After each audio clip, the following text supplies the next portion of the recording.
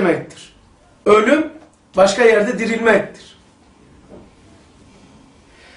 Aynaya baktığından bu ben miyim acaba diye şüpheleniyorsan bak aynaya baktığın zaman bu ben yaptım ha. Aynaya baktığında bu ben miyim acaba diye şüpheleniyorsan inandıklarınla yaptıkların aynı olsun. Demek aynı değil. İnandıklarınla yaptıkların aynı ne kadar ise aynaya baktığında, a, baktığın zaman kendinden korkmazsın. Çok tuhaf ölçü değil mi? Hiç düşündünüz mü?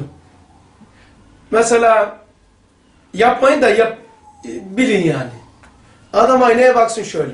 Gözünün içine baksın gözüyle. Kesinlikle rahatsız olur. Çünkü göz kalbin aynasıdır.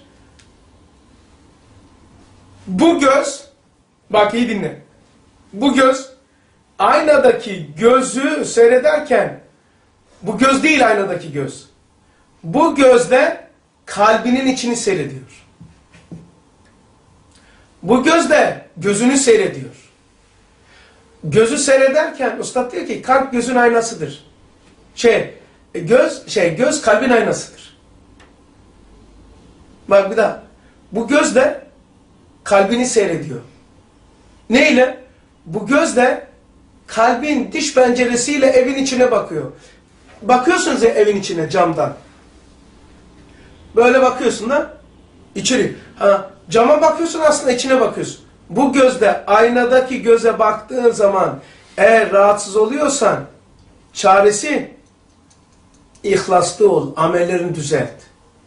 Çünkü seni rahatsız eden şey kalbinin içindeki rezilliklerdir. Bu değişik bir ölçü. Ama bakmayın. Efendiyi içeri al saraydaki. Evet sarayın içine.